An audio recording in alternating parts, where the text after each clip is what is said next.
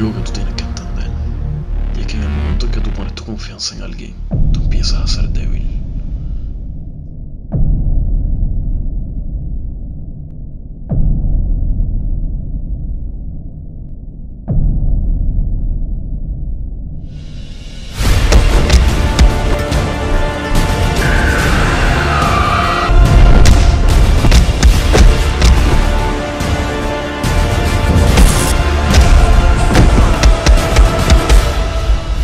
quieres morir hoy, viniendo para acá, para ti.